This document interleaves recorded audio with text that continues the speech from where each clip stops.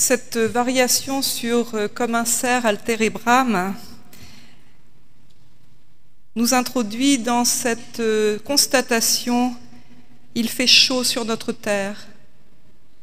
Et ce n'est pas parce que le thermomètre indique des températures supportables après la canicule qu'il faut oublier cette réalité.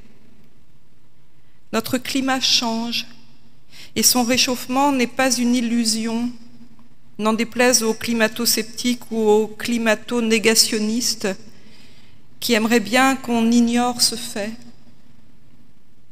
J'aurais pu ce matin vous lire un des deux récits d'origine de la Genèse et affirmer que le Jardin d'Éden était la création idéale de Dieu que nous aurions détruite. J'aurais pu choisir un psaume louant le Créateur, les oiseaux du ciel et les poissons des mers pour prêcher dessus et regretter que l'homme soit venu tout perturber et tout détruire. Mais cela aurait été trop facile et trop simpliste. J'ai préféré choisir le passage du prophète Ésaïe qui parle de reconstruction et de terre habitable, car il s'agit bien de cela.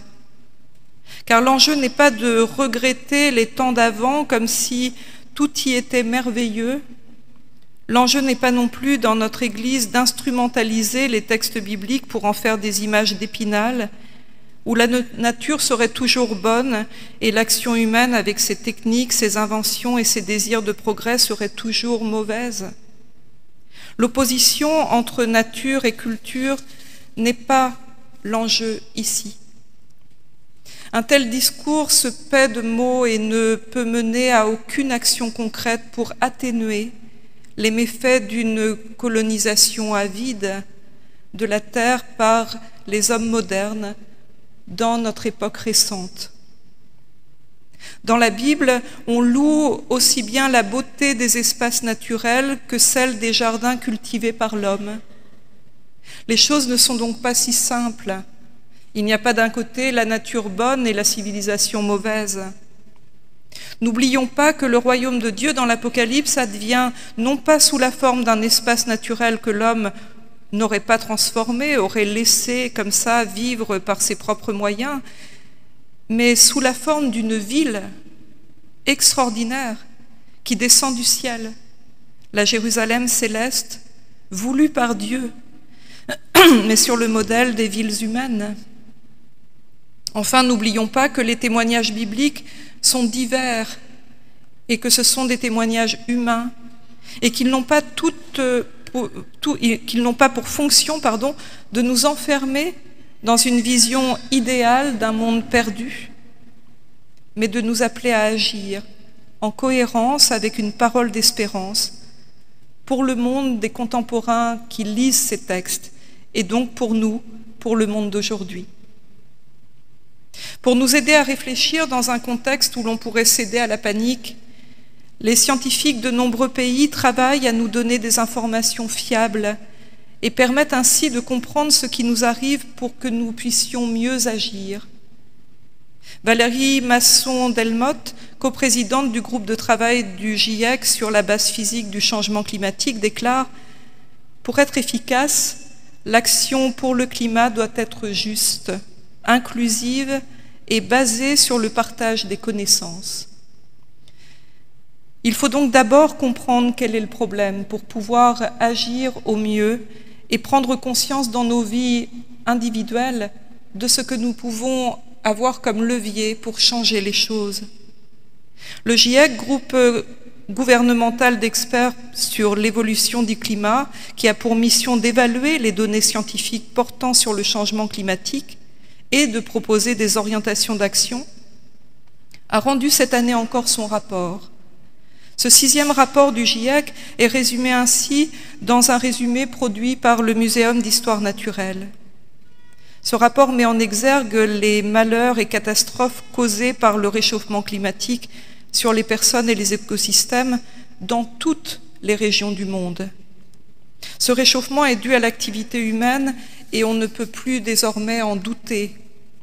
Les scientifiques alertent également sur l'augmentation continue du réchauffement climatique sur le temps court entre 2021 et 2040 dans presque tous les scénarios envisagés, le réchauffement va continuer.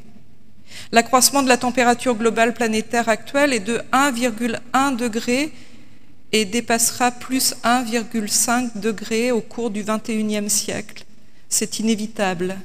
Comme un gros navire déjà lancé, le réchauffement climatique ne peut pas s'arrêter d'un coup, et même si la réaction internationale était rapide et efficace, il y aurait une inertie du phénomène. Plus le niveau de la température globale augmente, plus les risques de changement abrupt ou irréversible augmentent aussi.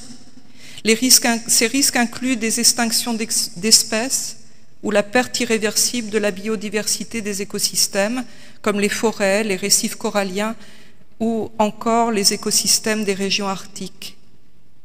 Pour limiter le réchauffement largement sous 2 degrés, sous ce plus 2 degrés, essayer d'approcher plus 1,5 degré, il faut une réduction drastique, rapide et durable des émissions de gaz à effet de serre.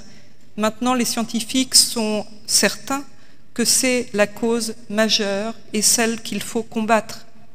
Quand on parle de 1,1 degré de réchauffement global planétaire, c'est réparti sur toute la planète et il faut préciser qu'en France, nous sommes déjà à plus de degrés de réchauffement global sur toute la France et que dans nos villes, le réchauffement est encore plus élevé, évidemment. Les communautés les plus vulnérables, qui ont historiquement contribué le moins à ce réchauffement climatique actuel, en sont les plus affectées et de manière disproportionnée. Il y a donc un problème ici de justice. Dans ce bilan peu enthousiasmant, il apparaît plusieurs thèmes importants pour notre réflexion théologique et éthique. Tout d'abord, cette crise est mondiale et les populations du monde entier se retrouvent engagées dans le même défi, avec des moyens d'action différents selon les lieux et selon les régimes politiques souvent, mais c'est l'humanité tout entière qui est touchée. Pouvons-nous croire au salut universel et ignorer ce nouvel oikoumene, cette nouvelle redéfinition de la terre habitée? Ensuite, cette crise n'est pas une fatalité. Elle est identifiée et nous en sommes responsables. Il ne s'agit pas de quelque chose d'inconnu qui nous laisserait sans moyen d'action ou dans la sidération. Quand je dis nous, évidemment, ce sont les quelques générations qui nous ont précédés et où la température a augmenté énormément dans un temps court. Il ne s'agit donc pas de la même chose qu'une épidémie dont on ne comprendrait pas la source, comme nous avons vécu l'épidémie de la Covid-19. Il ne s'agit pas de rester sidéré, il s'agit de regarder exactement ce qui s'est passé, ce que nous pouvons faire. Pouvons-nous savoir tous ces éléments et agir comme si nous ne savions pas De plus, tout en étant universelle, cette crise fait ressortir l'injustice qui touche en premier lieu les plus vulnérables et place les moins précaires devant leurs responsabilités. Pouvons-nous nous déclarer enfants de Dieu sans entendre la question lancinante et biblique Qu'as-tu fait de ton frère? Enfin, cette crise nous oblige à reposer la question de notre rapport à la terre, à notre désir de puissance et à notre relation au divin. Sommes-nous condamnés comme êtres humains à agir en colonisateurs de la terre avec tout ce que cela comporte de consommation des biens qu'elle offre à notre convoitise, sans réfléchir, sans mesurer, sans regarder l'impact de notre action? Il y a quelque temps, le pasteur Stéphane Lavignotte était venu présenter son livre intitulé L'écologie, champ de bataille théologique. C'est tout naturellement que je suis retournée après avoir écouté les conférences sur le rapport du GIEC et avoir lu des, résumés de ce rapport. Je suis retournée puiser dans sa réflexion pour poser le problème de façon théologique. Il y distingue de grands modèles théologiques sous-jacents à l'écologie qui peuvent nous éclairer pour notre réflexion. Le premier est un modèle contestataire qui s'érige contre l'idolâtrie et que l'on peut faire remonter à la théologie de Jean Calvin dans sa doctrine de l'usage des biens terrestres. C'est dans l'institution de la religion chrétienne, dans le livre 1. Selon Calvin, Dieu est à l'origine de tous les biens terrestres et il faut sans cesse lui rendre grâce pour ne pas l'oublier, ce qui risquerait de nous faire euh, dévier vers des idoles. Calvin appelle le fidèle à savoir se tenir modérément en abondance et avoir bonne patience en pauvreté. On pourra se scandaliser du conservatisme contenu dans ces propos.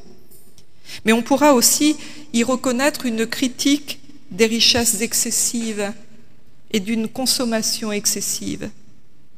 L'autre auteur emblématique de la pensée anti-idolâtre est bien sûr Jacques Ellul, qui considère la technique, et il la met au singulier très souvent, non comme un moyen de l'homme pour créer, mais comme un véritable système qui aliène l'homme et prend le pas sur sa liberté. Dans les deux cas, Dieu joue le rôle de limite au désir de puissance de l'humanité, tenté sans cesse par cette idolâtrie qui fait qu'il en veut toujours plus pour lui-même. Le second modèle théologique que discerne l'auteur de ce livre est celui où l'homme serait l'administrateur des biens de Dieu. On retrouve aussi ici une idée de Jean Calvin dans sa doctrine de l'usage des biens terrestres selon laquelle nous sommes des administrateurs des biens de Dieu. Dans la Bible, il est écrit en Genèse 1, 28, Remplissez la terre, assujettissez-la. Nous sommes alors appelés à seconder Dieu dans sa tâche. Chez un Bernard Charbonneau, l'humain est distinct du reste des vivants et cette séparation lui permet de désirer retrouver la nature. Paradoxalement, c'est en la voyant à l'extérieur de soi et différente qu'il aura envie de la retrouver. C'est par la figure de la campagne et du retour à la terre que cet auteur décrit le défi de l'homme des années 2000. Dans cette perspective, l'homme est à peine en dessous de Dieu et gère sa création. On parle même pour l'activité de l'homme de co-création. Le troisième modèle théologique est celui de la convivialité dans le livre de Stéphane Lavignotte, ou comment habiter le monde ensemble, vivant en relation dans une même dignité, une adelphité, pour dire de façon inclusive la fraternité. Ce troisième modèle n'est pas étranger non plus à Jean Calvin qui souligne l'arrivée de l'être humain après tous les autres vivants et qui devra vivre avec, mais on le trouve surtout développé dans les traditions monastiques où les textes bibliques évoquant la réconciliation entre les êtres vivants est mis en avant, notamment chez les franciscains avec Saint François d'Assise. Comme par exemple, on trouve dans le prophète Ésaïe, le loup séjournera avec l'agneau. Vous avez là une image de réconciliation qui fait comprendre que l'idéal à rechercher est une cohabitation pacifique nous aurons l'occasion d'en reparler à propos de l'alliance avec les animaux dans une prochaine prédication. Le quatrième modèle est celui de la ruminante, comme dit euh, Stéphane Lavignotte, et qui s'inspire aussi de l'institution de la religion chrétienne de Calvin, où Dieu veut que lorsque nous contemplons le spectacle de la nature, nous le fassions non pas légèrement pour euh, les oublier aussitôt, mais en nous arrêtant longuement afin d'y penser et de les ruminer à bon escient, en en conservant un souvenir permanent.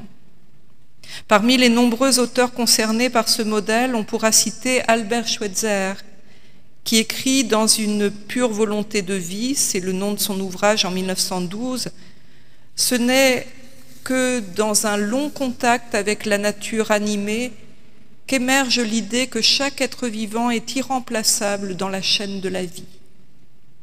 Tous ces modèles que le pasteur Lavignotte définit comme des théologèmes ont leurs limites, soit parce qu'ils ne font que contester sans proposer autre chose, soit parce qu'ils laissent croire que la volonté suffit à continuer l'œuvre d'un Dieu bon.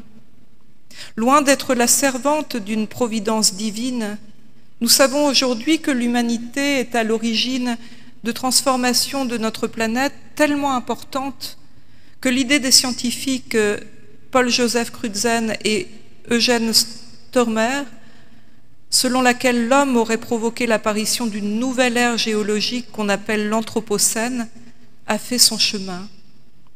L'influence de l'humain sur la biosphère équivaut donc aujourd'hui à une force géologique, tellement les changements ont été brutaux et rapides. Il s'agit alors de se demander si ce n'est pas le mythe prométhéen qui domine plus que tous les modèles que nous avons énumérés ici. Dans le passage du livre d'Ésaïe que nous avons lu ce matin ensemble, il est question de reconstruire sur des ruines après une grande crise, mais à condition de faire advenir la justice et de regarder l'autre comme un frère. Si tu offres à l'affamé ce que tu désires toi-même, si tu rassasies l'affligé, ta lumière se lèvera dans les ténèbres et ton obscurité sera comme le midi. Le Seigneur te conduira constamment, il te rassasiera dans les lieux arides. La question n'est donc pas de savoir comment nous considérons la nature, comme si nous avions le loisir aujourd'hui de nous positionner par rapport à elle, comme si nous avions un échappatoire et une autre façon de nous poser avec elle. Mais il s'agit bien de nous y inclure. Nous faisons partie d'un écosystème et nous en sommes un des rouages, le plus destructeur en ce moment, mais peut-être à l'avenir le plus fécond. Quelle communauté terrestre sommes-nous capables de vivre? C'est la question que nous renvoie la crise climatique que nous vivons et que nous traversons avec tous les acteurs de ce grand tout que nous appelons nature et qui est notre monde partagé.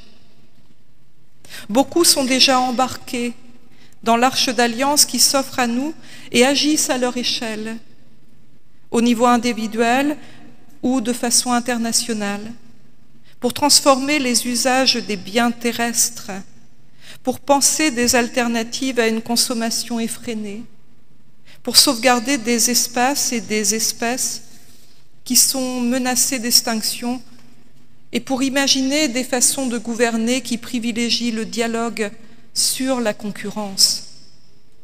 Toutes ces actions dans le monde sont autant d'espérances pour nous tous, autant de lieux où la communion humaine peut se faire et se vivre.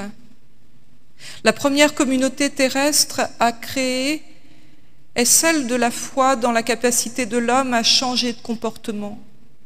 Nous entendons trop de discours de défiance, de discours de désespoir. Il s'agit aujourd'hui d'espérer ensemble et en acte. C'est donc cette communauté-là qu'il nous faut créer une communauté de croyants dans un avenir meilleur, et pas seulement pour nous, mais aussi pour le milieu dans lequel nous vivons.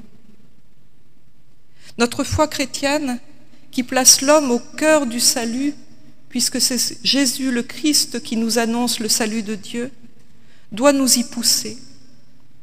Alors, loin de la peur et dans la foi, nous écrirons ensemble une nouvelle page de l'histoire de l'humanité et nous nous appellerons ceux qui réparent les brèches, ceux qui restaurent les sentiers pour rendre la terre habitable. Amen.